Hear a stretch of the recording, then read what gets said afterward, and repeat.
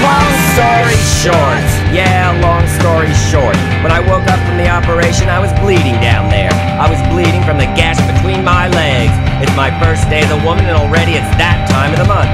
But two days later, the hole closed up, the wound healed, and I was left with a one inch mound of flesh. Where my penis used to be, where my vagina never was, it was a one inch mound of flesh.